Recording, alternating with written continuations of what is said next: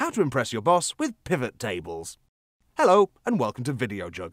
Oh, check you out. Pivot tables, is it? Someone looking for a promotion by being all technical and clever, eh? Well, good job. We're here to help. The old way of working stuff out is to use a pen and paper and snap pencils and throw things at walls when you jab the wrong button on a calculator and lose everything. Fortunately, that's not really the case anymore. These days, things are getting a little bit more sensible and impressive looking. Pivot tables look at all your numerical data and then answer questions about it. So if you've got a huge big spreadsheet full of sales figures, you can make an interactive pivot table out of it so the data is easy as pie to sort and view.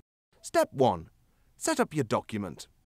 Before you get going, you need to understand that pivot tables will only work their magic if your document is set up properly.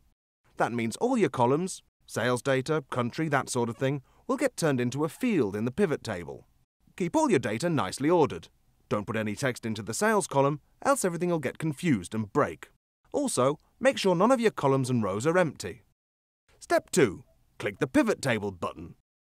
Not quite yet, but nearly. First, make sure you're in the right workbook.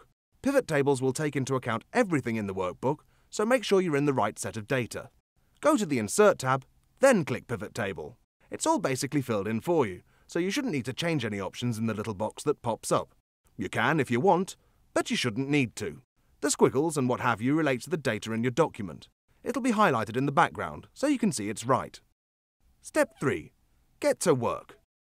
When you close the Create Pivot Table box, some new stuff will pop up in your workbook. This is where you're going to sort out all the data. Over to the right, you'll see your fields. Select which ones you want to include in your pivot table report, and they'll get added instantly, using computer magic. Or you could drag them into the areas below. Step 4. Bask in your unmitigated brilliance. Oh, it's an interactive little table, look. Drop-down menus let you sort the fields and add or remove certain elements. If you double-click a field, say sales, you can change it to show the data you're interested in. Whether that's the average sales, the maximum value, the minimum value, it's all displayed in a funky interactive little report. Your boss will be so impressed, he'll probably send you one right back, detailing exactly how much he's going to raise your salary by. If not, make a bigger, better pivot table next time and keep at it until he gives in. Done.